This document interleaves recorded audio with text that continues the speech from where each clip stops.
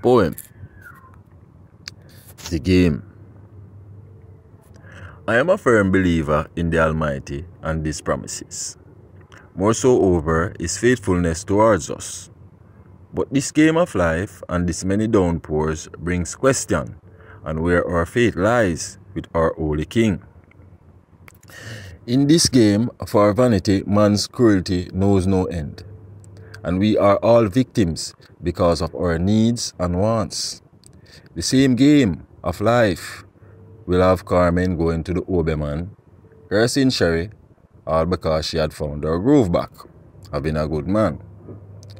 In the game, you will dead over one fried dumpling. Get in the know. Many times in the game, there are alts, and one may feel they need to be more patient, not so but behind back.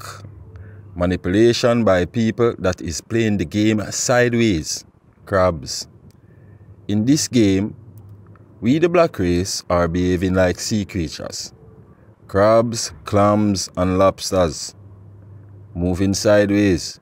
Join each other down. Take it as you want. But in this game, notice Mr. Chin, Chinese, Mr. Abdul, Arab, Misangul, Korean, have a common agreement, unity.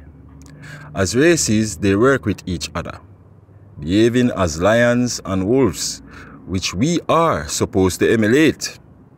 What is going on here is racial madness that we are to fix in this game.